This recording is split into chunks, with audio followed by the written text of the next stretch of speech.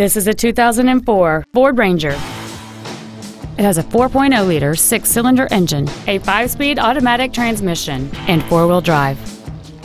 All of the following features are included. A double wishbone independent front suspension, air conditioning, full power accessories, a CD player, automatic locking wheel hubs, a bed liner, a passenger side vanity mirror, an anti-lock braking system, an engine immobilizer theft deterrent system, and aluminum wheels. Please call today to reserve this vehicle for a test drive. Jim Keim Ford is dedicated to doing everything possible to ensure that the experience you have selecting your next vehicle is as pleasant as possible.